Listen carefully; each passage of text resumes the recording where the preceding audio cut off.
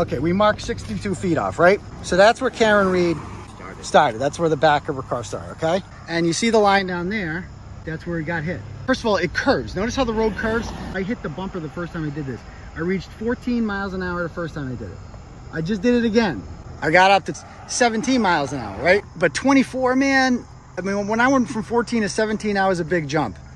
24, it curves. Like I hit the fucking curb. They didn't say anything about any tire marks on the curb. I just made tire marks on the curb. So John is standing right here where the car comes back.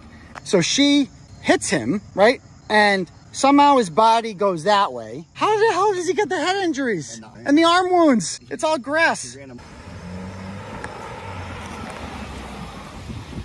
So I hit 19 miles an hour there. That was pretty, uh, I mean, that felt fast as shit. Yeah. Not gonna lie. I don't think I could have gone above that. That was literally as fast as I could possibly go.